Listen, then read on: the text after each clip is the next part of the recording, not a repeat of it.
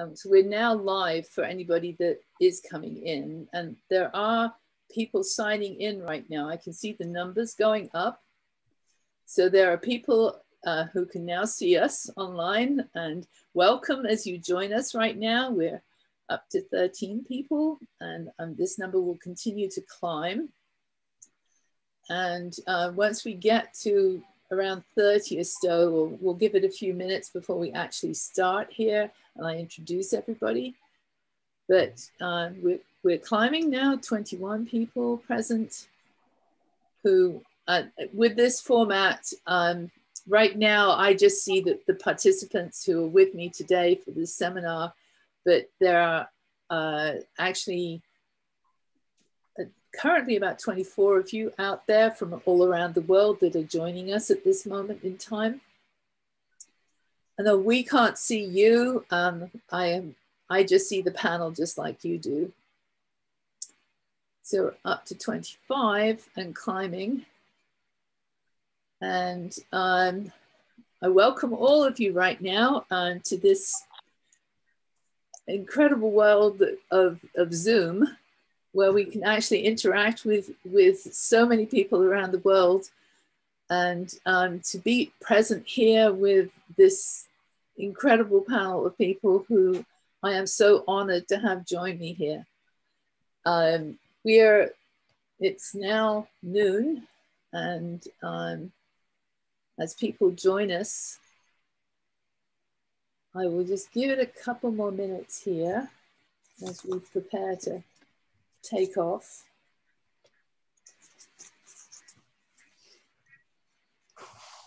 And uh, make sure we've all got our phones off and ready to go here. So we seem to be stable with the numbers, although I'm sure some more people will be joining us as we go along. But it is noon and it is time to get this seminar started. And I'd like to first of all introduce myself and the, the HoloCenter who are hosting this seminar.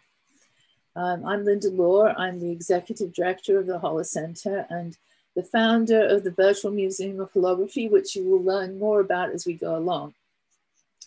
The HoloCenter was founded by uh, Dr. Anna Maria Nicholson and the late Dan Schweitzer back in the late 90s, and with a, an, a, a grant from the Shearwater Foundation, which had been administered by Posy Jackson here, who's with us today. So the, the mission of the HoloCenter is to provide access for artists to facilities to make holographic art, to create exhibitions of holographic art, to educate about holography, and to research new techniques for creating holograms. The, the Virtual Museum of Holography is a new project of the HoloCenter, which is designed to create an online repository of information about the art, science, and technology of holography. And it also is designed to have an immersive virtual reality portal into uh, basically a dimensional holographic museum of virtual holograms. So these are being created with new technology, with new light field technology. So this seminar is the first of a series of monthly seminars, and, and the first three of these are on the topic of what is a hologram. And this has come about because we are currently flooded with many different descriptions of what a hologram is, from everything from uh, Pepper's ghost displays, 3D projection mapping, lenticular images, volumetric images, photogrammetry, VR, AR, all of them are being described as holograms. So this first seminar with this particular panel of people has been designed to explore what the original definition of the hologram was and continues to be and how it is evolving. So I'd like to begin by introducing my incredible panel. Um, we are so lucky to have all these people with us here today. First of all, Dr. Juris Upatnieks. Uh, I actually was trying to track him down for months, and it's only a couple of weeks ago that we managed to reach him, and I am so thrilled that he's with us here today. Dr. Upatnieks was born in 1936 in Riga, Riga, Latvia. At the close of World War II, um, he, with his family, they fled to Germany um, because of the Soviet occupation of Latvia seeking asylum in Germany. In 1951, the family emigrated to the USA. In 1960, he obtained his bachelor's degree in electrical engineering from the University of Akron. And from there on, he studied at the Institute of Science and Technology, where he obtained a master's in electrical engineering. From 1961 to 62, he served in the Army uh, through the ROTC and in 62, he returned to work with Emmett Leith in Michigan, where they made the first holograms with, with a laser. Prior to this, they had been actually working with mercury arc lamps to make holograms. In 1965, Emmett and Juris demonstrated their first 3D holograms at a, a meeting at a conference in Washington, DC, where they had scientists queuing up down the hallways to, to have a look at these holograms, the first ones that anybody had really seen. In uh, 62 to 64, he and Emmett published a series of technical papers on holography. And as of 2009, he holds 19 patents. In 1975, he received the R.W. Wood Prize of the Optical Society of America in 1976, he received the Holley Medal of the American Society of Invention and Innovation. And in 1999, he received the Latvian Academy of Sciences uh, Award of the Great Medal. So we really are just thrilled to have you with us here today.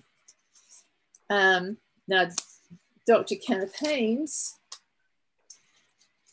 he, Dr. Haines graduated from uh, Queen's University in Canada in 1956. And in the early 60s, he was a member of the team which um, pioneered holography under the tutelage of Emmett Leith at the University of Michigan, where he obtained his PhD. In 1967, he served as the Chief Technology Officer for Holotron Corporation, a subsidiary of DuPont Company. In 71, he uh, he was on the teaching staff of, of the University of Canterbury in New Zealand. In 1978, he founded Eidetic Images, where he developed mass production techniques for holography. In 82, Eidetic Images were acquired by American Banknote. And as a result, um, he did totally groundbreaking work in, in mass production. In fact, just about everybody in this audience today, I would imagine, has got a credit card with a hologram on it that was actually made by him. So uh, he served as the, um, oh, he also did three covers for National Geographic uh, in the 80s that were totally groundbreaking. He served as the senior vice president for American Banknote Holographics and was in charge of research and development. In 1992, he started Simian Technologies to develop advanced holographic recording systems using computer processed data. Simian was sold to RPM in 1995 and he left in 1996. He has worked as a consultant to the field since then. So welcome, Ken. We're really happy to have you with us here today too. So Posy Jackson. Posy was born and raised in New York City. She studied at the Parsons School of Design and obtained a degree in photography and graphic design. On graduation, she founded her own company, Jackson Graphics. A summer course in holography at Lake Forest College in 1970, and later courses at the New York School of Holography in 75 and 76 cemented her lifelong interest in the medium after, after producing displays and exhibits for the New York Art Alliance, including co-creating the, the Holography 75 exhibition at ICP, she founded the Museum of Holography, serving as its director through 1983. And I'd like to just add there that that exhibition at ICP was my entry point into holography too. That's when I saw my very first hologram. And thank you to Posy for that exhibition and, and to Jody Burns who co-created it with her. um, so from 87 to, uh, so wait a minute. Um, she served as the director of the Museum of Holography through 1983. And I'd also like to add there that that period of time in holography was a most stimulating and creative period. And the museum was really the hub of a great deal of creative activity that happened in New York City at that time. And it became a focal point for people when they came to New York. So from 87 to 98, she created and directed the holography program for the Shearwater Foundation, which continued until 2004. And many, many artists received incredible awards from the Shearwater Foundation. You couldn't apply for one, you just were nominated and uh, then just got this surprise award.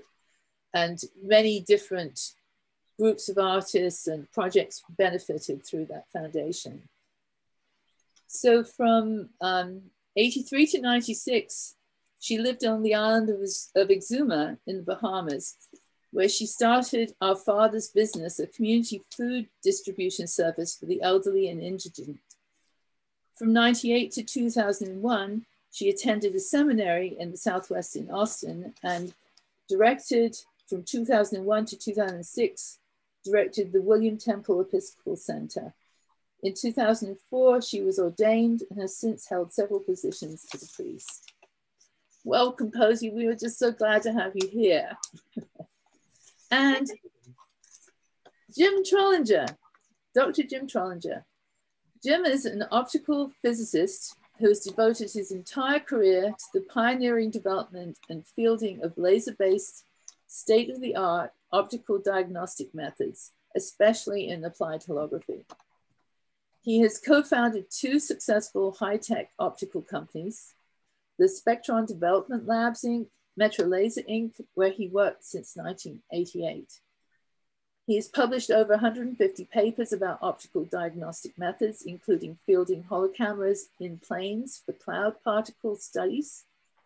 He even flew in NASA's microgravity lab, which was known also as the Vomit Comet, and um, in preparation for spaceflight holography, his broad base of knowledge and long history of research will be invaluable today as we explore what is a hologram. So on Friday, we had a practice session for the panel and um, I was actually totally delighted to discover that it was also Juris's 85th birthday. So late happy birthday to you from all of us, Eurus. That was just such an amazing thing. And we had we had also originally tried to, to plan this se seminar for a little bit earlier because I wanted to originally coincide it with Ken's birthday, which had been on May 20th when he turned 88. Mm -hmm. But uh, we didn't, it was too soon. We couldn't quite do that. And, and anyway, it meant that we had a little bit longer and we managed to contact you and we have you all with us now today. Mm -hmm. But on Friday, you um, gave us a really wonderful description of what it was like making that first hologram. And I, I would like to invite you to start us off by talking about your early experience in making a hologram in Michigan with Emmett Leith in those mm -hmm. early days, if you wouldn't mind. Okay, well, there are three different um, kind of uh, se sections. Uh, the earliest one was uh, the very first recording of an off-axis hologram was uh, made in uh, March 1961. And um, at that time, um, we didn't have a lasers, only mercury arc lamps and semi-coherent light sources. And Emmett was writing his uh, uh, paper communications theory and optics and uh, making some uh, photographic uh, illustrations. And uh, the one we couldn't do was to de demonstrate the off-axis hologram. but then I was in the laboratory looking at the uh, paper. There was a paper that described how uh, Ronchi ruling, when it imaged and when you change, uh, blocked some of the diffracted lines in the transform plane, that it changed the sharpness and how the image changed. And so while looking at that, I thought, well, what happens if I select only two points from those over 10 diffracted spots and of course, there was looked like interference lines, and it was very contrasty all across the field.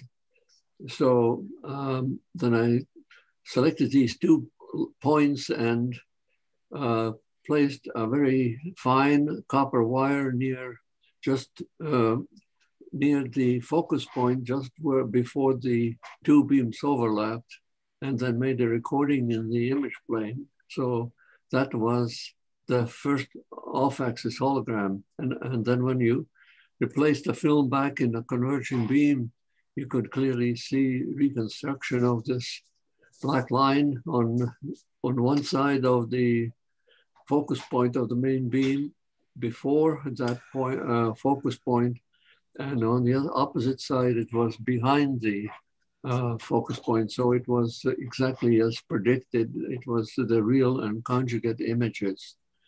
Um, and um, Emmett included uh, some photograph of the of this experiment at the end of his paper.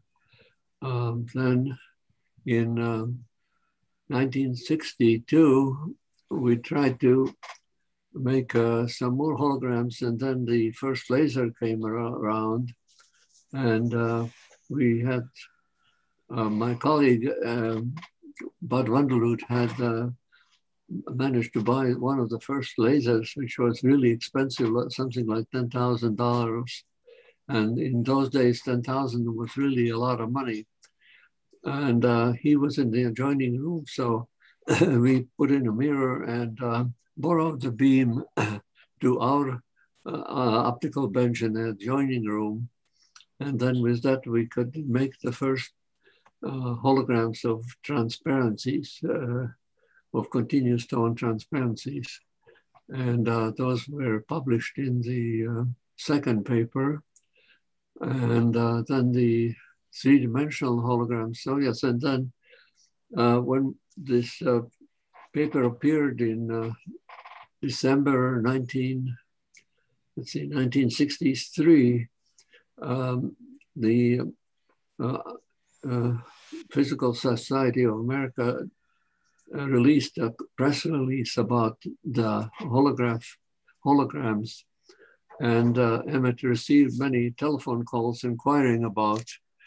It was kind of headline was lensless photography, something like that, and um, when he answered the interviews, uh, he uh, added, by the way, that uh, we could also record three-dimensional objects or images. And uh, the uh, reporters certainly didn't believe it. They asked if he, he had done it, and he hadn't. But he kind of said, well, it was obvious that you could do that.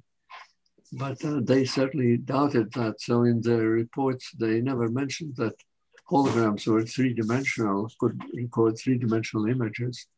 And uh, so this was in December 5, 1963.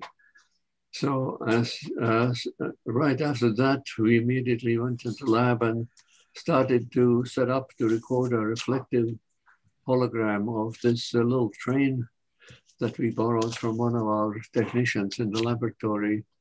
And um, at first, we didn't get any results. The there were stability problems, and the beams were be not equalized. Reference and object beams were not equalized. So at first we just got blank films, But then uh, in, uh, at the, in the last week of December 1963, we finally succeeded in making one good hologram, a four by five inch hologram of this little train.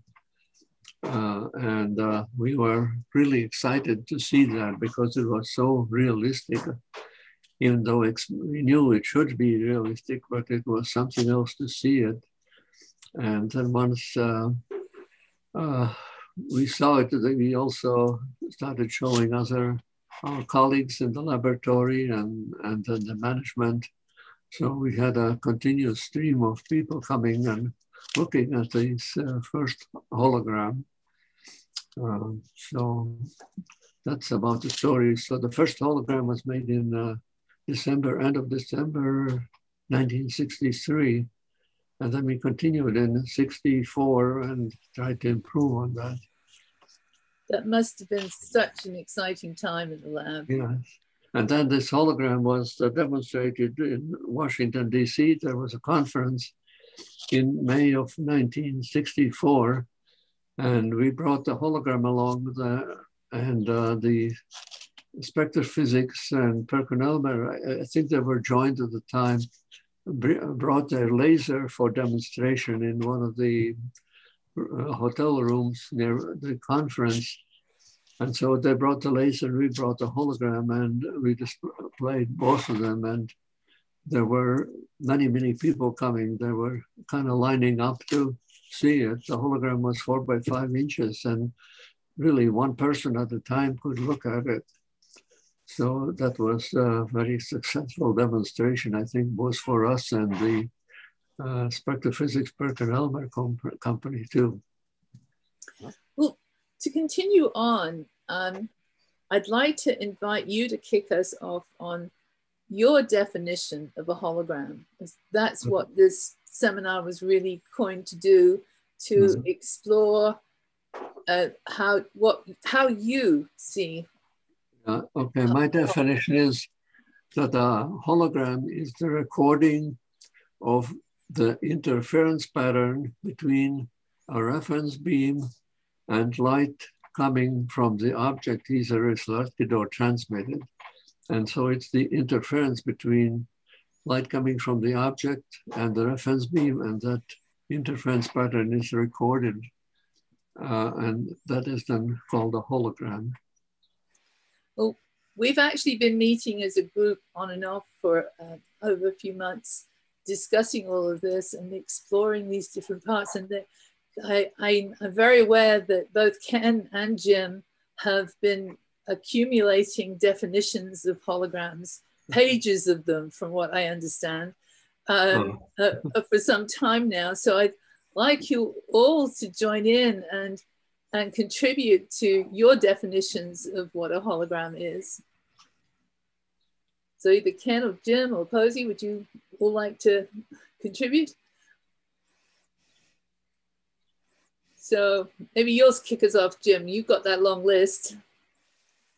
Well, defining a hologram is a lot more complicated than, than one might think because the at least my perspective on holography from today it, it contains such a vast array and combination of different recording materials wavelengths applications uh, the different communities that are using it. It it's a it's a vast collection of different categories of, of holograms that makes this complicated. So it, it's probably more practical to begin uh, as Juris did with the definition of an optical hologram. And, and uh, an optical hologram is, is a recording of a light wave with enough information that that same light wave can be reconstructed almost exactly at some later time. So that, that covers optical holography. And then to, to generalize that, you'd say any wave. A hologram is a recording, a complete recording of any wave such that it can be reconstructed. That includes radar, which I think the first holograms were were, uh, were those or the uh, side looking radar recordings. At that time, you just didn't know to call it a hologram. Uh, there, you can record water waves, you can record X-ray, sound waves. as a whole field of acoustical holography. So, uh, and then there's digital holograph, holography where you record synthetic waves. You, you never actually have a wave, you synthesize the wave and the hologram is actually existing inside the computer memory. so all of these things complicate the definition of holography. So what, what people are most likely to see is the optical hologram hanging on the wall. And in that case, the hologram reconstructs that light, that light field from an object so well that when you're looking at the hologram, you're looking at exactly the same thing you would see if you were looking at the object. So it it gives a full 3D realistic view because it has the ability to record and reconstruct that same light field. So that would be um, um, what I would consider a more broad definition recording of any wave. And there, there's so many different types of applications of that in so many different fields that uh, uh, I think each one has its own different definitions. Well, can I say something? Of course. Yeah, well, I would say that uh, the SAR, uh, synthetic aperture radar, is not a hologram. And uh, because a hologram is a, the definition of, of the word itself is that it's a complete recording and it records widths depth, depth and elevation heights. So it records three dimensions where uh, the SAR image is only one dimensional in reality. So yeah, I wouldn't call it um, a hologram because it doesn't record the other dimensions. Uh, it, it has some qualities that are similar to holograms, but it is uh, not a holographic recording, I would say. I think it's more than two dimensions. You're actually you're recording heights. you can actually look at the height of the ground below the airplane. So you're measuring a profile. It's not just a flat picture, it's a profile. So you are measuring three dimensions in that sense. Now, to make a comment about what a hologram is, it need not be 3D. Right.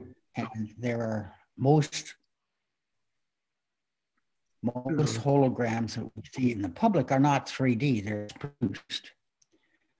Uh, I think that Emmett at one time, we were discussing this and he said, look, do you recall those early SAR, side looking radar images, which were on tilted plane? You know, remember that before they improved that and modified it was a flat plane. And that tilted plane, he said, is really was really a rainbow hologram. He certainly thought of it as a hologram at certain points. Okay, so that's what he thought. I have some records on that. Um, when I think of a hologram, I don't know what a light field is. Maybe some Oops, you froze, Ken. Of a light field.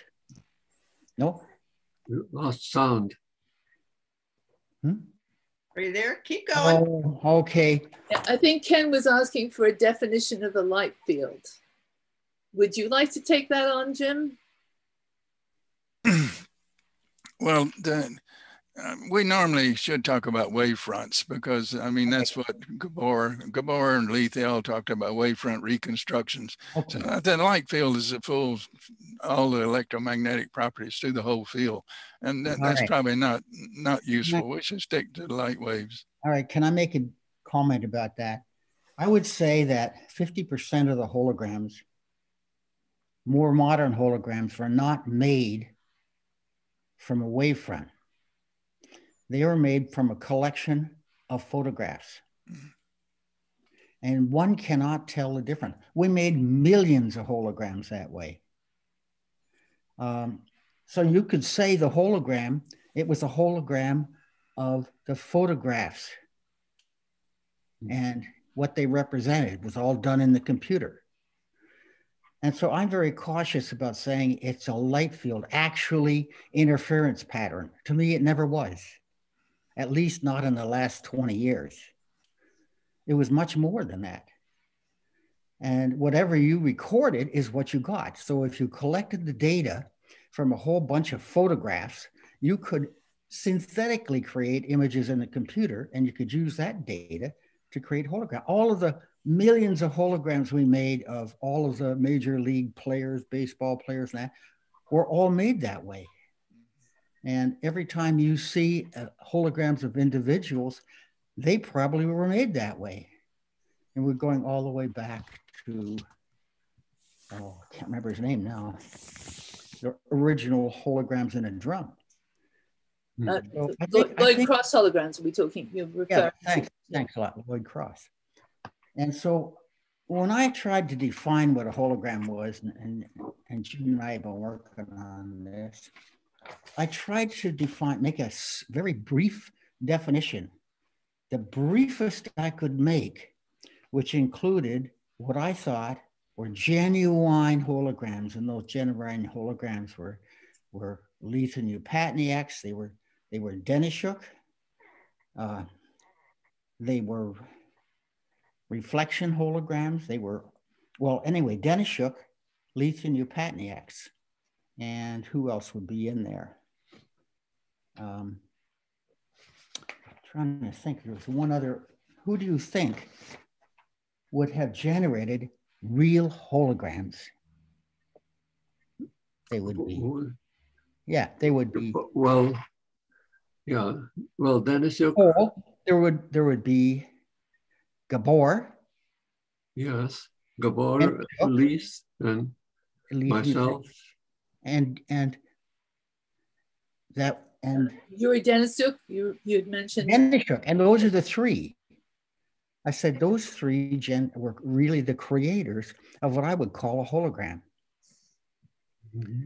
at least in the technical sense. So, and I included in my definition holograms that were made from photographs as well, because that's what people think of as a hologram. In fact, probably most people think of a hologram that was not made from the interference of an object wave and a reference wave.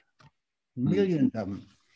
My definition, and we can take it apart, is a hologram is the complete recording of a complex wavefront which can be used at a later time to regenerate a perfect copy of that wave. There is a problem with perfect. Hmm. Well, but if you make a hologram of a photograph, uh, that's still, you know, you have the depth in information and uh, lateral information. So you don't use the three dimensions, but it's uh, there. Yeah, just because the wavefront is made up of a collection of photographs doesn't mean it's not a wavefront. And and you, I think you're I, I, agree, and I have the same. We've kind of homed in on the definition of a recording of, of any complex wavefront with such accuracy that you can reconstruct that same wavefront at a later time. Uh, that, that, that that we agree on, I think. Yeah. The, the the thing is, what what is what qualifies as a wavefront? In digital holography, you don't actually have a wavefront sometimes. You synthesize it. You do it in the computer. You can make the hologram in mm. the computer without having a laser or without having light without having anything. You synthesize it. You can make it in the computer. You can reconstruct the wavefront in the computer. You can interfere it. You can you mm-hmm. can do almost everything and eventually displaying it on a on a tv monitor.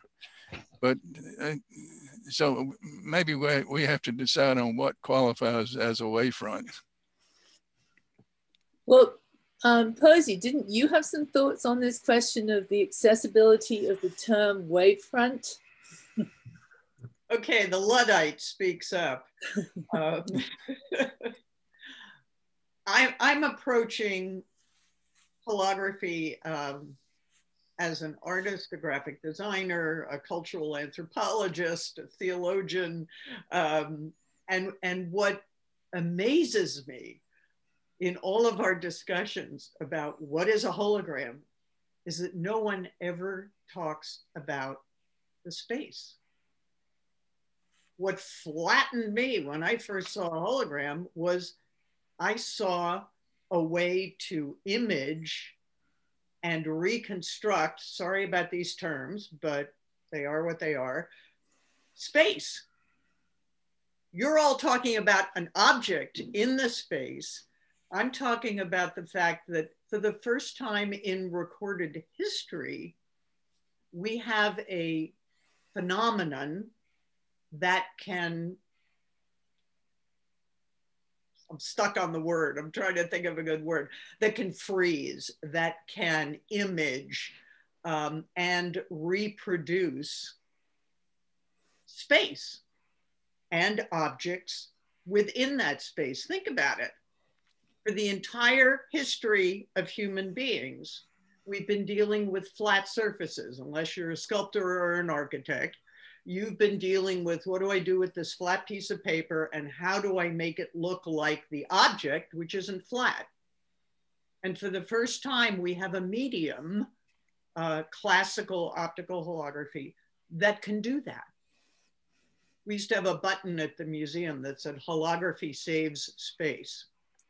because to me and to a lot of people who do not know what a Fourier transform is, um, a lot of people coming into the museum are absolutely fascinated by the fact that spatial relationships can be delivered to you off of a glass plate or from an image on the wall. They're not quite sure exactly what the substrate is there, but so to me, the the excitement and the challenge um, of, of optical holography is what do we do as creative people with the fact that we can now image objects in relationship to each other within a volume. To me, that's absolutely revolutionary and fascinating.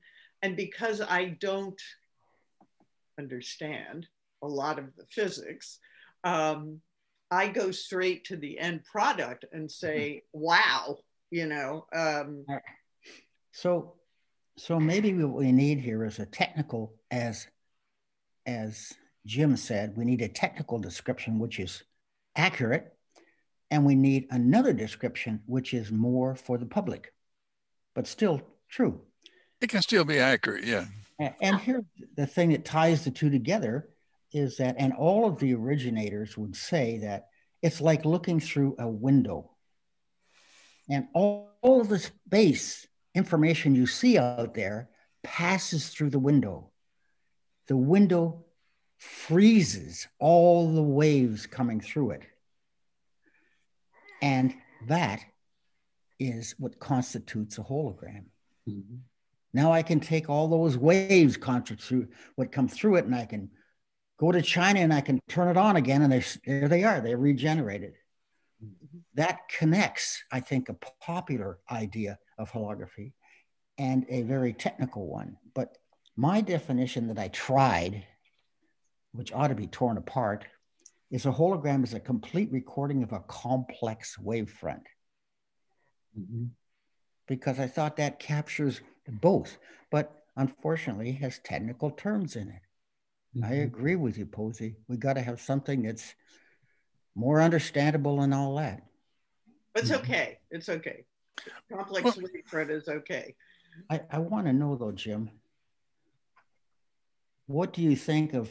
Uh, you were the one that suggested that we have to have a technical term that describes it, and we have to have a popular one. But for the technical term, I if you want to make it as brief as you can, so it, it, it covers everything. Those three holograms that I mentioned, Leith Upatniek's, Gabor, and Denisyuk, it captures that. But it doesn't capture, say, lenticular photographs or and they yeah, and they are They aren't holograms, though. I mean, No, lenticular. They are not. They are not. So you don't want it to. You want it Yeah. to exclude. So that that's where I am. I don't. I don't think I'm capable of making a, a statement that's popular. I, hmm. I don't think I'm creative enough. Yeah, maybe Posy is more qualified. I mean, one one thing that Posy might like, I I, I, I, ran, I was looking for qualified person here, and you're telling me. different people. I, I liked Dennis Young's description that Posy might actually like. Uh, Dennis Young actually said that a hologram is the optical equivalent of the object itself. So, because what comes off of the object when you're looking at it is a light wave, if you look at that light wave, you see the object. If you look at a mm. hologram of that object, you see the object the mm. same as you would see it if it was a real object. So he, mm. he described it as the optical equivalent of the object itself. Yeah. I would modify his definition slightly, Yeah. Okay. but and I would say it's not just optical. You know, we can add terms to that. Yeah. But that statement, now that I look at it, and now you mention that, and now Posy said what she did, it's pretty good. What I, you know, this is a good point, I think, to bring up what you all have mentioned before, um, which is that we, it is important for us to make a distinction between the um, recording object, substrate, but give me the right word there, the recording medium um, being the hologram and the resulting re-illuminated object, whatever that is, um, is not a hologram. Oh, because we we've had this discussion and i understand your point that that scientifically in terms of physics the projected image of light the focused image in space um, according to your definition of holography is not a hologram it may be a holographic image using that word as an adjective but but it's not a noun it's not the image itself. So maybe you all could comment on that. well, I think Jim uh, Jim's the person to comment on that because he has written extensively about that.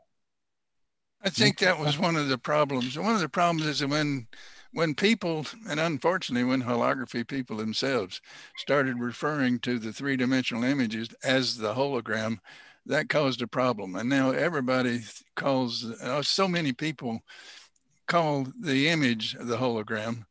And that confuses them because now the many people in public, anytime they see a three-dimensional image, they think it's a hologram.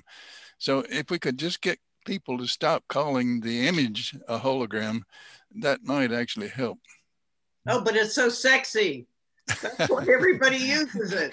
because I am a hologram. holographic image. It's Pepper's ghost, you know, but never mind. Uh, you call it a hologram, and another 100,000 people will show up. So we're stuck, unfortunately, with the fact that holography um, is, is infinitely fascinating to many different kinds of people. And that the artists and the, uh, the imaging, the image makers and users of holography are probably going to keep calling these wonderful, sexy aerial images holograms. So what? You We're may be trying- right because if you look at most of the dictionaries now, if you look up the definition of hologram, the first thing they say it's a three-dimensional image. They they talk about it being an image, and I mean I I know that's not correct, but maybe we're stuck with it. Well, wait a minute. Aren't we here talking about correcting it? Aren't we here to talk about defining holography the way it should be defined? Don't we have to, a duty to do that? I hope so. And, and if you say that that object, the image, is not the hologram, isn't that exactly what we want to do? Yeah. Linda? The holographic image.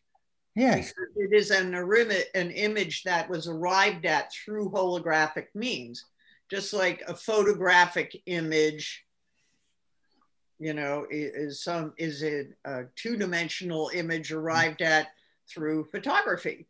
Um, yeah, I, I think the the problem that we always come up with is that holography is a banquet and everybody likes a different part of the meal or everyone is interested and involved in a slightly different part of the meal. And so to them that's the whole package. Yeah. You know one person likes the olives somebody else likes the spaghetti.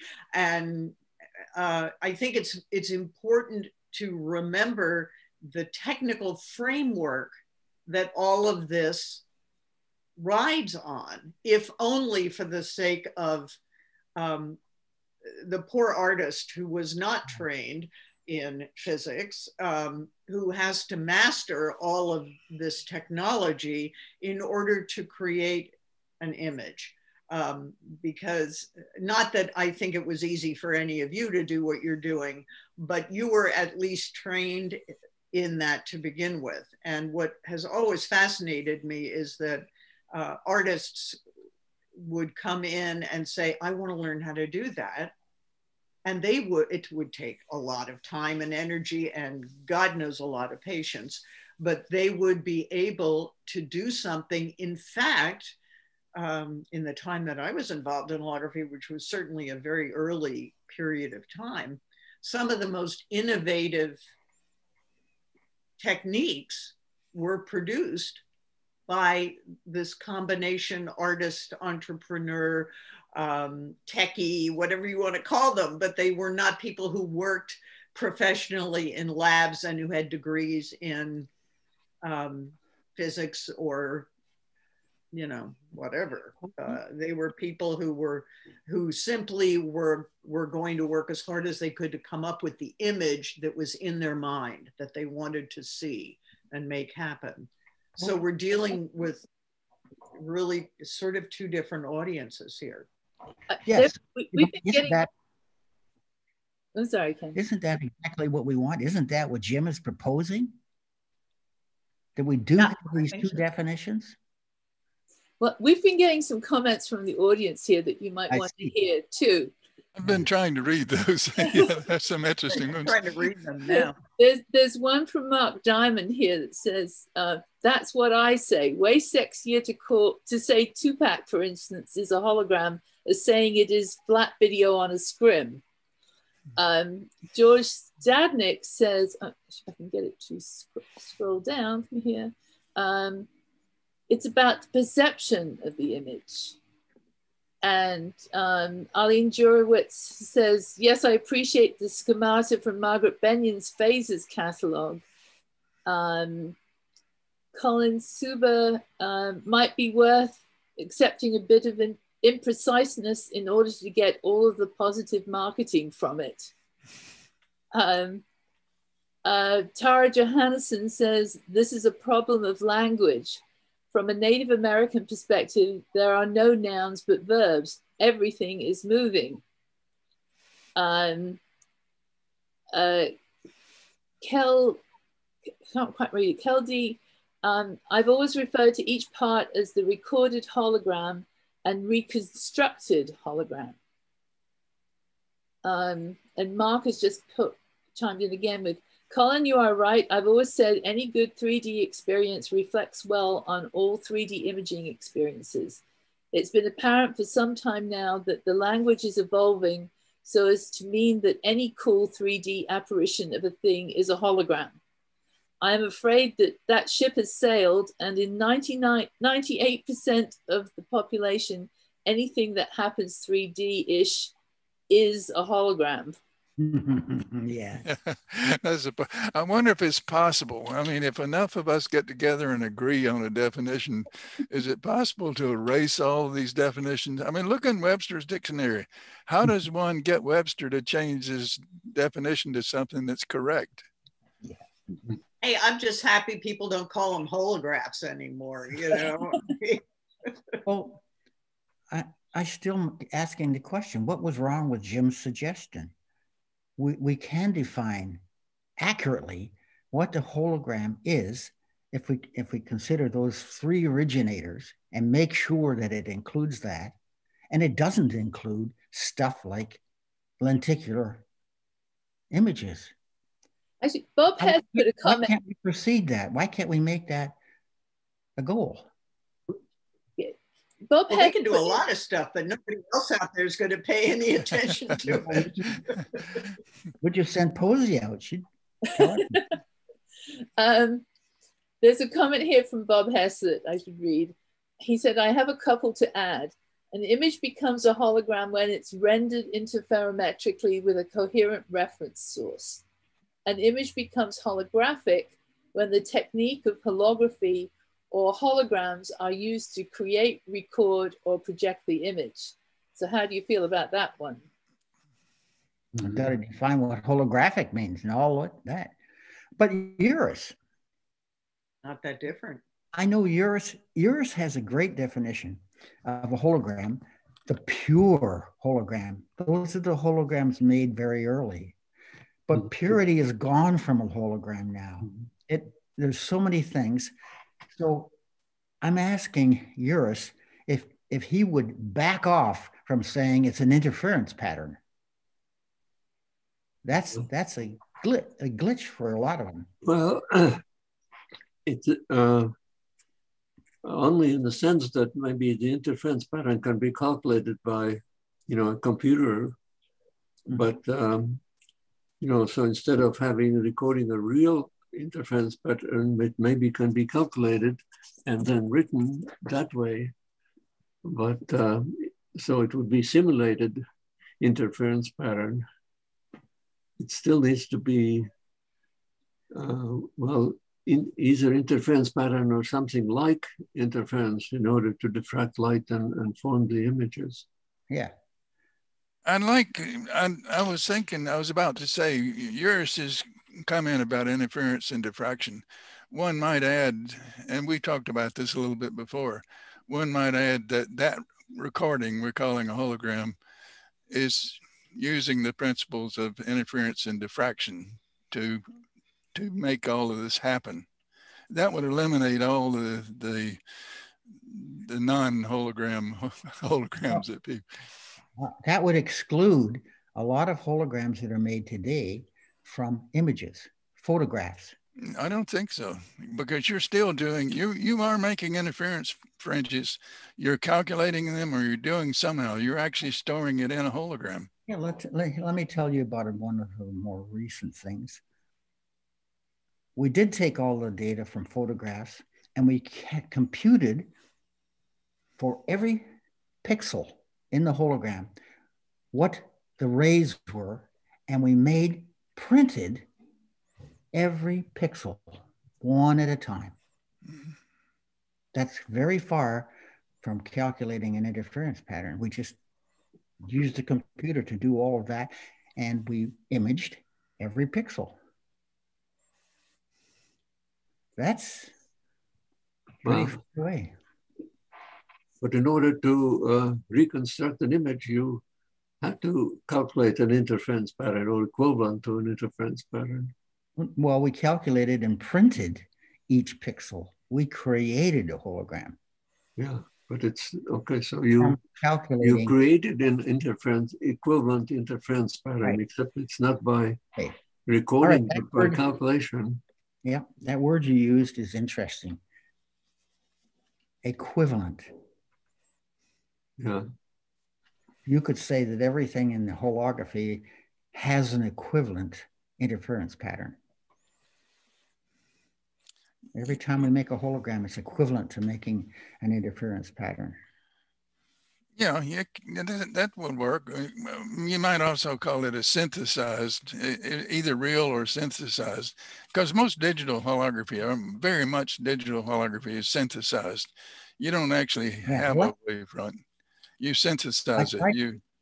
Yeah, we did talk about synthesized holograms, Jim. Yeah, and and we those are expand on that, fit, couldn't we? Those fit the definition.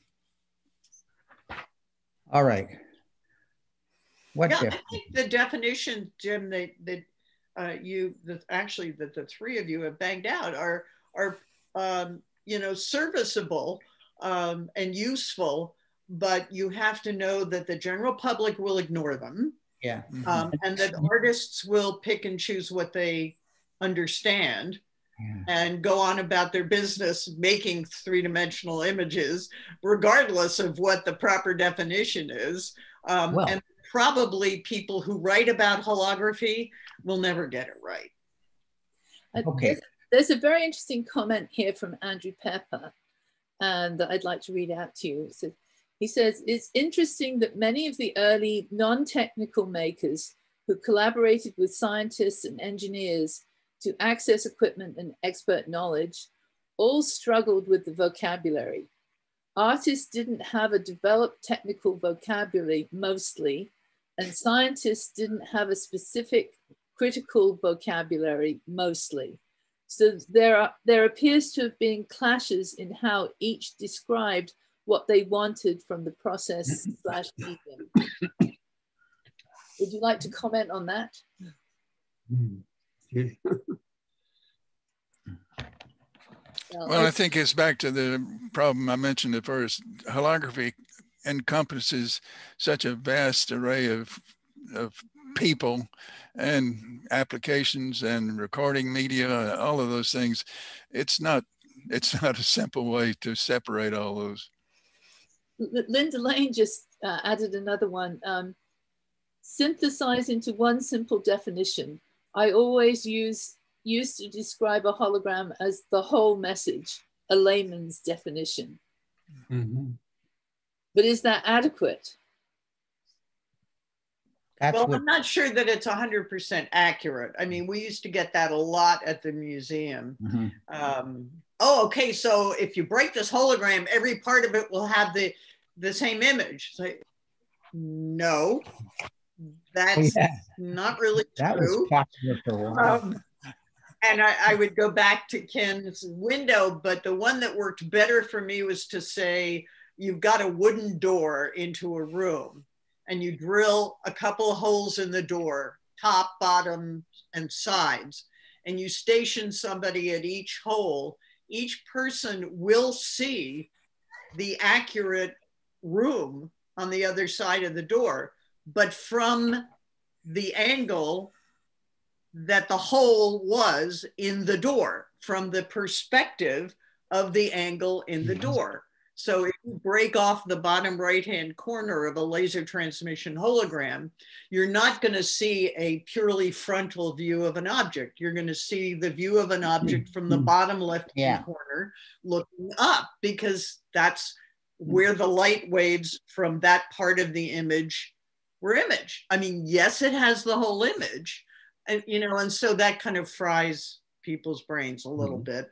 And I think to an extent, given the fact that I listen to FM radio and I know that it has something to do with uh, carrier frequencies, and I watch TV and I don't have a clue how that, you know, it's just, we're just going to have to say, the parts that we understand, fine, you know, we'll go with that. And the parts we don't understand, we believe them to be true because they work. Um, but if you want me to explain a Fourier transform, I ain't gonna do it. I, I can't do it. You know? Yeah. That's all I know, nothing else. Can any of you guys do that? Of course you can. Yeah. We're dealing with with um, two different sides of the magic. We're dealing with people who who understand on such an amazing level exactly what's going on in that substrate and why it's happening. And there are people who really don't care what's happening in the film plane. They're interested in what the projected image looks like. Mhm.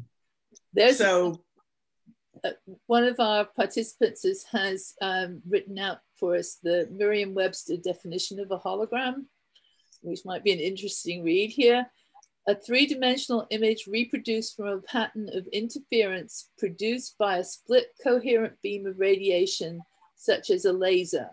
Also, the pattern of interference itself. Okay. But yours has a solution. He said an equivalent. That's an we can create an equivalent hologram. Mm-hmm. I think we got to work with that.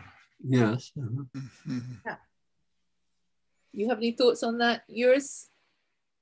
Um, well, I, I'm not sure. Could you, you repeat what the question was?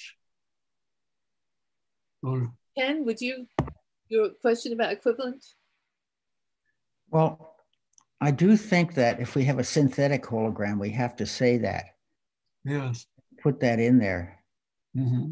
I think Juris said hologram like. well, computer, computer generated hologram. So. Like equivalent hologram. That's more technically accurate, isn't it? Yeah. Okay. I don't want to dominate this. Well, I'm also um, interested to hear your opinion.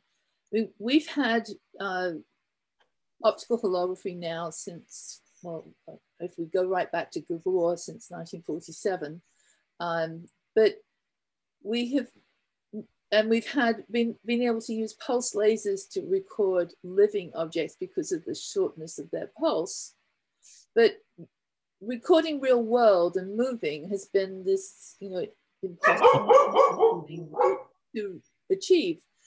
Uh, but now we're reaching into a new realm where there are different technologies appearing that are allowing the possibility of dimensional moving images without glasses, because that's always been part of my definition with holography is that you don't need glasses to see a fully three-dimensional hologram.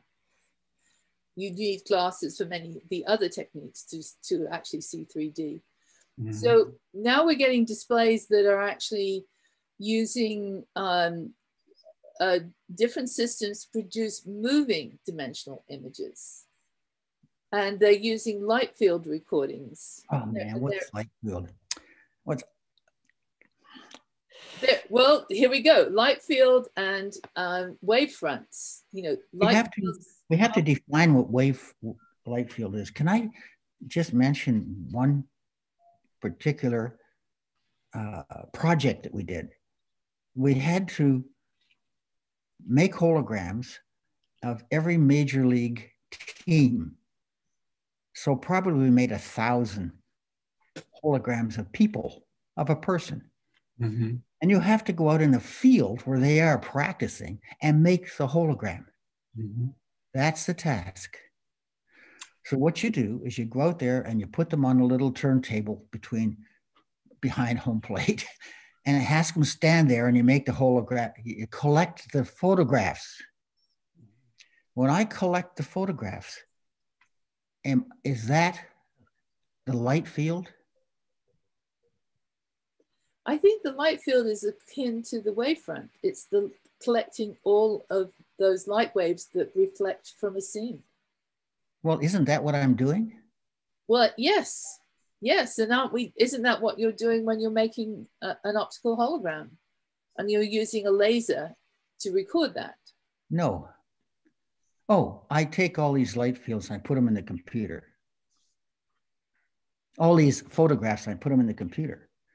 And I ask the computer to sort out every pixel in the hologram that I'm constructing, all of the rays and I collect those pertinent rays from all of the photographs I can get. So in that one pixel, it has only the exact rays coming from the right direction. That's what we did. So if you take that and you, you go from the early days of Lloyd Cross's gathering through to some of the systems that you built and then various other companies have built over the time, those that approach isn't that really a progression into what we're now going uh, into? Yes, I think so. Sure. Field technology. Yeah. There, there is a continuity. So what I want, yeah, I, I'm sorry for being so vocal. I, I would just love to get rid of that word, word light field because a lot of people have call it their holography light field holography. And, and I don't think that's a very good definition. I don't think that's a very good definition. I would rather say images, collect all the images you can. And that collection is a light field. I don't know what a light field is. But the light field could also be from uh, a 3D. So you have a 3D model in the computer, right? And oh yeah, sure. From there, you then render out lots of different views that then are used to generate a hologram. Well, what we would do, we would build completely something in the computer. Debbie would do that. And then we would collect all the views we needed. And we, we would put them in the computer, and the computer would sort out what we need in every pixel on the hologram. All the same. I'd just like to add there that uh, Ken just referred to Debbie, who is his daughter, who was the brilliant programmer who wrote all the software for the simian technology and developed that end of things to, to Ken's optical end. To give her some credit in here too. Yeah, well, she deserves half the credit, maybe more. I think it's useful. It's always useful to have a baseline definition, hmm. always. Um, so I think uh, Jim, that you're, you know, the, this composite that you all have come up with is good. Um, and as we muddle our way through uh, integral holograms and digital holograms, it's important to to try to get our our hands around the technologies that are involved. It's important to use that word stereo that people try to avoid, um, you know, because images are compositely created um, out there in the real world. Um, so let's start with, with the classical definition of a hologram, pull out optical holography and say, you know, how that applies, and then you know, have some lines going out from that and try to define what is white light transmission, what's a rainbow, what's a, you know, integral hologram, what's a digital hologram. It's always useful to have the correct definition, whether people use it or not, whether they care about knowing what it is. I think it's always useful uh, and important to have it because there are people for whom it is important.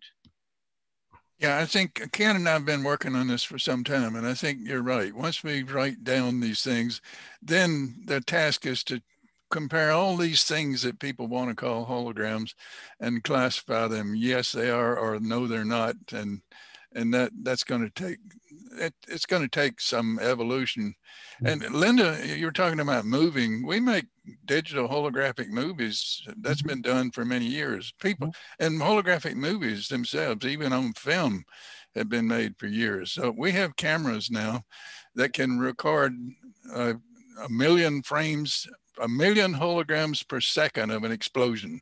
You can take something that's exploding, you can track in time very precisely in three dimensions from those holograms uh, exactly how everything is moving in 3D. So there are there are digital holographic movies. Uh, holographic microscopy is a big field now.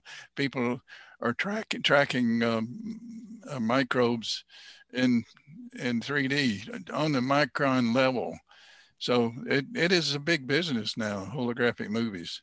Well, that's fascinating in itself, and that, but but your definition of, of a holographic movie on that level is not quite what the rest of the public thinks of mm. as as perhaps as a holographic movie. Yeah, um, we don't sit around at night watching that. but I, there's another uh, comment here from George Stadnick. Uh, interference and diffraction are the attributes of light that are manipulated to create holograms but aren't synthesized also simulations of an, of an optical hologram? Or are they a category unto themselves? Yeah, I'd like to call them holograms, whether the wavefronts are simulated or whether they're real. It's still it's using the the properties of interference and diffraction to record that whole that wavefront. And it's a hologram of something. Uh, maybe I could um, give a slightly different definition than I uh, gave first time. Uh, maybe a hologram could be defined as a recording that recreates three-dimensional images. in uh, not specify whether it's a interference recording or whatever, but simply that it uh, recreates three-dimensional images. But you don't need to have images. Uh, there are a lot of holographic, a lot of uses for holography that, that don't involve images at all. They just involve wavefronts. See what happens to the wavefront in three dimensions. The, mm-hmm. the study of, of aerodynamic flow fields, for example. You want yeah. to measure densities in the, the field. You, you never have an image of the field. You, you analyze this thing in 3D and fig, figure out what the density of the gas is. Yeah, well, if you recreate wavefronts, the, uh, then uh, that these wavefronts create images if, if that's what you had recorded originally. So, yeah, I, I guess you could say holograms recreate wavefronts, but then it's not quite clear what, what is, uh, well, what do you see or what what's happens? But it's but it's accurate because that's what makes up the image. Mm-hmm. I, I want a really interesting question here um, that just jumped out of my view. Let me see if I can get it back. Um, Linda, can you get the one about the computer generated hologram? Is a computer generated hologram a hologram the same way chocolate cake is a type of cake? You can see why it got my attention. Um, or is a computer generated hologram a hologram the same way a cheesecake is a cake? What? I'm throwing that out to you guys. I, I, just sent a few days ago. I sent an email to both Juris and Ken. I said if it if it looks like a duck and it quacks like a duck, it's a duck. So if it looks like a hologram and it acts, it reconstructs wavefronts like a hologram, it's a hologram. um, somebody else here, Adush Statnik also commented, holograms also record time in that a viewer can spend time looking through the window and perceive the space at, at their own pace for an unlimited amount of time. And that's a really interesting observation too. Well, I think I think that that's partially correct, if you'll pardon my saying that, whoever said that, um, in that the, the amount of time that one takes to view it is ancillary to the actual image. It has nothing to do with the time that is inherent in the image. Right. The time that's inherent in the image is the split second that it took to record it. So it's frozen. That that word is frozen. Right. I mean, unless you're dealing with an integral hologram, you know. Or, or uh, you can have a, a multi-channel hologram. You can have a multi-channel hologram, right? Recorded at different moments of time. So you're actually looking at into windows that are composed of different slices of time. But the, the person who is asking the question or stating the, the comment, which is well taken, um, is that it is, it's up to the viewer how much time they want to take to view it. It's not inherent mm-hmm. in the image. Yeah. How much time is displayed. Although, if you want to warp it a little, there are different spaces oh you look at Ken Dunkley's hologram thoughts, a hologram of a hologram of a hologram. Um, there are different, and or Sam Moree's work, um, Dan Schweitzer's work. There are a lot of people who put holograms into a hologram as another image, and so there are different kinds of holographic space illustrated within the larger context of the space. But okay. time itself, I think, is a is a really different thing, and we have to move that over to um, to the movie section because mm-hmm. it's not it's not what the observer talks about any more than the placement of the image um, has anything really to do with it, whether it's you know um, you know projected way out or it's got an immense amount of space behind the or, or straddling the image plane.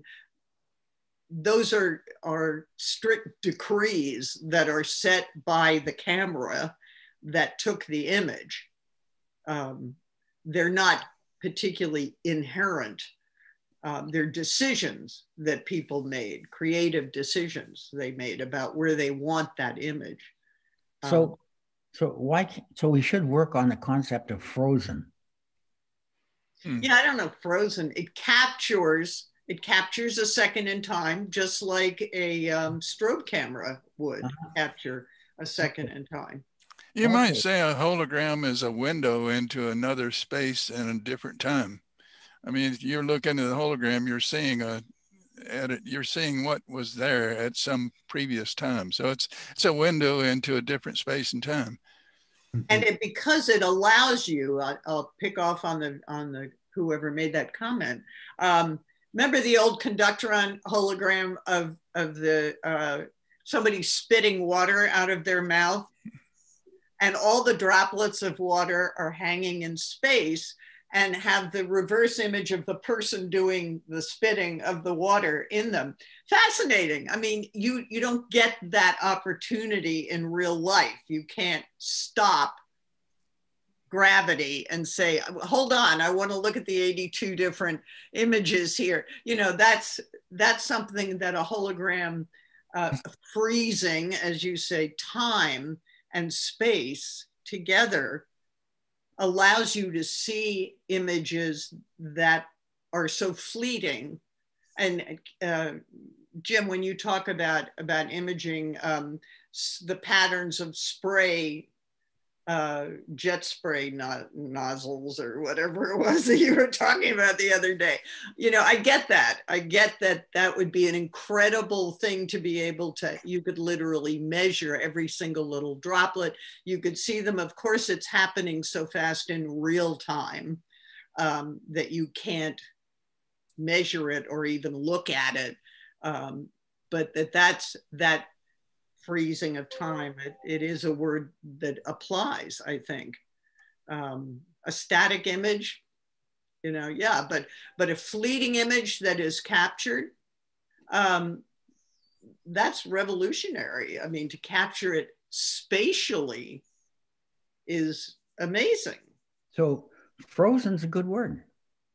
it works I, I have another comment here from, um, I think, oops, it's frozen, uh, from Rob Monday. I agree with Juris, Ken, and Jim, but a single, but a hologram of a single point of light is a diffractive zone plate. A Fresnel lens can do the same, same using reflective surfaces. Digital holograms can therefore be made that don't utilize diffraction at all, which further scuppers the definition somewhat. Any comments on that one? I don't know what he means. I think a Fresnel lens works by not diffraction, but from refraction. It's actually a composite lens. I think there's such a thing as a holographic lens. In fact, that's another one that, that Denisyuk mentioned. He said a hologram of a convex mirror Yeah. acts exactly like a convex mirror. So th- there's a difference in Hmm. a Fresnel lens and a hologram of a lens.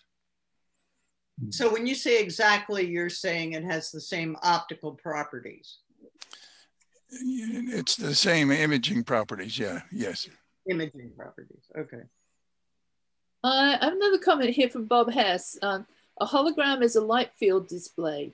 Not all light field displays are holographic. What's a Yeah. light- That's, that's, it works for light. What's, yeah, what's a light field? Sounds about right. Um, Ken, I love the fact that you had trouble with that because you all roll out some phrases that make my eyes roll too. So, you know, I'm glad that light field does that to you. can you tell me what you think a light field is? I haven't got a clue. Oh. I think I said the other day that it seemed like a weather front to me, but Me too. um, I'm looking for more questions here. Um, Fran- Francesco Mazzaro says in holography, there is writing or even recording a wavefront. Holography, uh, in, in holography, there is writing, oh, there is writing or recording of a wavefront. It was replicated. Um, and George Stadnick says, holography tree with branches of the variants and evolutionary forms could illustrate the complexity with context. Um, I'm getting lots of comments about cheesecake. yeah, somebody wants to talk about that, please. Uh, what she's uh, saying. Does, in, in terms of the audience, does anybody, can I ask out that we've, we've got another uh, 10 minutes or so here. Uh, if you have any specific questions you want to ask of the panelists, this is the point in time to, to put them in. I'm, I'm scanning through the, the uh, questions at the moment. Um, There's actually, Linda, there are a couple of questions under the Q&A thing. Okay. Um, digitally constructed, uh, this is from Colin Suba, with digitally constructed objects becoming so common, as well as digital displays, will, quote, real object holography and film persist as a medium? Mm. That's a good question. Um, actually, I'd like to to add in there that um, my own personal experience of late has been that I see more and more young people getting very interested in optical holography as well as digital holography. Mm-hmm. I, am seeing both, and I see one stimulating the other. So, actually, one of the things we're doing is um, I'm working with Melissa Crenshaw to put a, a, an online course about making optical holograms using Denisyuk techniques, single beam techniques, and working, recording with laser diodes into photopolymer. So we see this as another way to get more people involved on an entry level because photopolymer, no processing chemistry. May what? And no processing chemistry. We can make it with a laser diode and work with photopolymer now.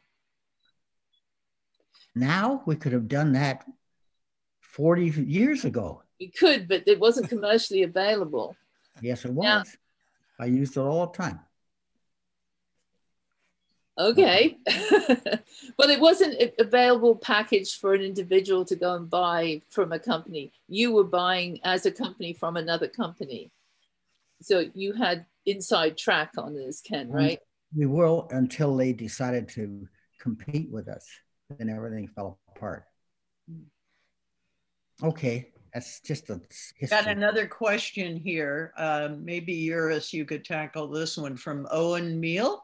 How would you advise an early career engineer interested in holography and optics? Hmm. Actually, all three of you could probably. Not me. Well, you have to find someone that's interested. Of course, if you want to work in this field, then you have to find somebody that's giving is willing to give money or pay, pay your salary and so on. So if you don't have sponsorship, then it's pretty hard. You know, as a hobby, you can do it, but uh, as a otherwise. Uh, Juris, is, is sponsorship gone away? Are there still? Well, who's, is anyone doing holography like ERIM was, um, or SRI, or you know, back in the day all the uh, who's who's actually doing uh, quote industrial or scientific holography these days? Hmm. i haven't really followed the field. I don't know. Jim you're more involved in the, that end of things. What would you say the question is who's doing scientific holography? What was the question? Well the this um, fellow wants to know you know how, how would he get involved in oh oh yeah. okay the first thing Where to do get get graham saxby's book on holography or get uh, collier Burckhardt and there, there are a lot of good books. Uh, a good place to start. If you want to start really elementary you could start with fred Unterseher's holograms made the easy way. so there's a number of books to start with, and there are a number of universities teaching classes. So find some oh. place and take some classes. Yeah. But are there any universities that are involved in research anymore, like University of Arizona was, or Michigan, or those places? I, can't, I don't think there are. There must be some. Uh, well, uh, yeah. um, De Montfort University in England has got Martin Richardson working there, and that was I think that that was a lab initially established by Nick Phillips, and that's still going. um, the M- MIT's lab that had been Stephen Benton's, that I think has pretty much folded up now. There are a Uh, lot of short courses also. I know a number of universities, I, I can't name one at the moment, but there, there are universities that give short courses and special courses in holography. I think he was asking particularly as a career engineer, as opposed to entering Yeah. from more of a, an amateur or an artistic uh, approach with it. But there's um, his uh, Fred Needham has uh, put in the Wikipedia definition of light field, which I might stir things up a little Oh. too. Um, the light field is a vector function that describes the amount of light flowing in every direction through every point in space. The space of all possible light rays is given by the five-dimensional plenoptic function, and the magnitude of each ray is given by the radiance. Okay, where did he say that was, please? That was from Wikipedia. So Hmm. does that answer your question, Ken? That- Yeah. If I take enough photographs, except that the light field may not, may contain phase as well. If it does, then the photographs don't do it. Then it's different than my infinite number of photographs. Okay, I'll look it up. There's another interesting question here too. How uh, this is from um. How how much time does a hologram actually record? Is it a true point zero zero zero whatever amount of time, or is it a measurable but imperceptible amount of time?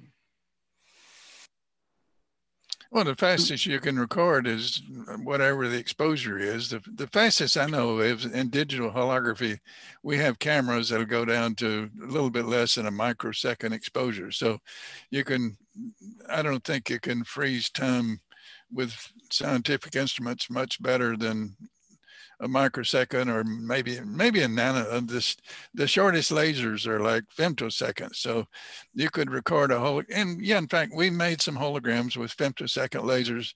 So now you're talking about stopping time to 10 to the minus 12 seconds. Wow. Mhm.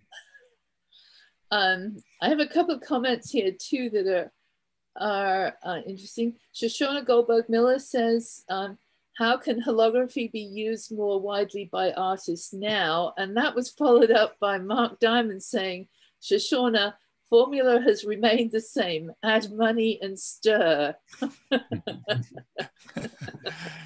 Well, I think Juris said that too. You find a sponsor. yeah. yeah. Um, It's never been easy, but it is possible. Juris and I were paid full time, and we had the luxury of working in holography.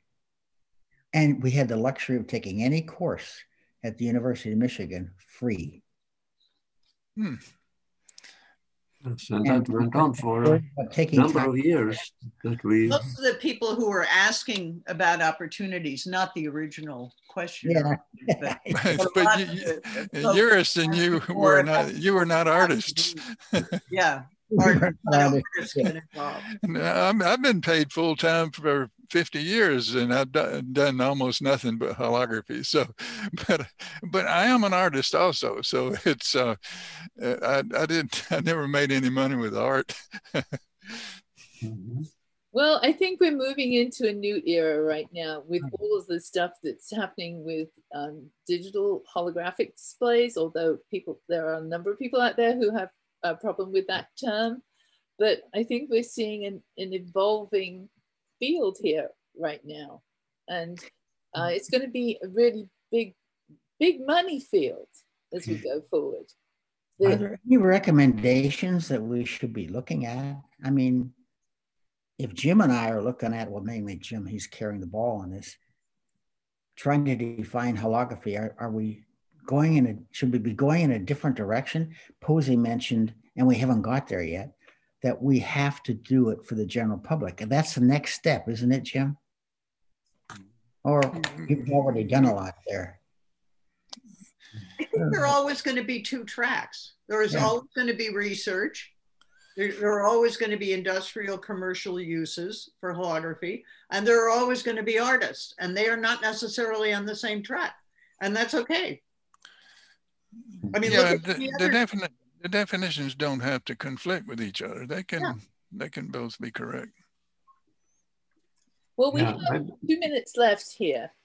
Uh, maybe I could amend uh, the definition I mentioned earlier and uh, take out the words interference uh, between reference beam, etc., and simply say that a hologram is a recording that recreates three-dimensional images, and it doesn't matter how you how it's made or created, but that it uh, generates space in three-dimensional images and are not uh, restricted to the interference pattern. And then it would include computer-generated holograms too.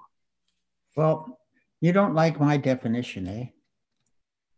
And your definition? A hologram is a complete recording of a complex wavefront, which can be used at a later time to regenerate a perfect copy of that wave. Uh-huh. Yeah, that's fine too. I think we have that definition for the people who know what a wavefront is, and we have uh, something more like Posy's definition for a person who had no idea what a light wave is. well, perhaps on that note, we can sum up here now. And I would like to thank all of you for participating here today, and for those of you that joined us today. I feel extremely honored to have had your company and to have this opportunity for you to share with, it, with the audience we have out there in the world. Um, and um, I invite all of you to come to our next seminar, which is going to be in June. And we will be also discussing what is a hologram, but in this next panel, we'll be with a panel of holographic artists. Mm. So um, in, on and the three of you have to come and be and be as dazzled by that as I am by your immense knowledge. Okay.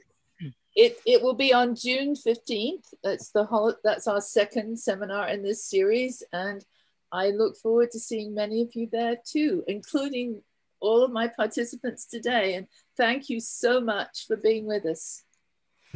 I've enjoyed some of the comments and I, I, recognize a lot of names on the comments. I haven't been able to read all of them, but uh, it, if there's some way to get a copy of those comments, that would be really interesting. And, and the questions. I'll send it all to you. You, you'll all get a copy of it. If, if I may, um, you're not going to like me for this, but you know, I make a habit of opening my mouth and putting my foot in it. Um, I think that one of the things that Juris talked about is really an important issue for all of us right now, and that is sponsorship. Um, what what Linda is trying to undertake right now uh, is an immense project to put together a virtual museum of holography. It ain't going to happen on peanuts, okay?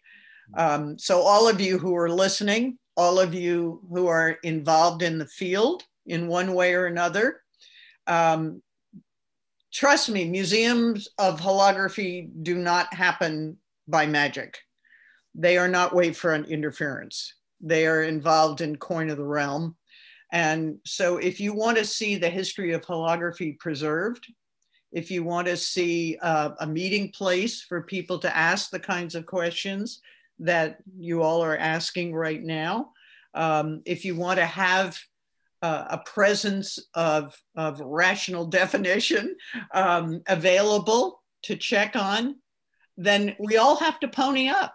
We have to pony up some money to make this happen because we're at a very, very tenuous stage right now um, in the history of holography where a, a great deal of really important holographic work is just plain going to disappear.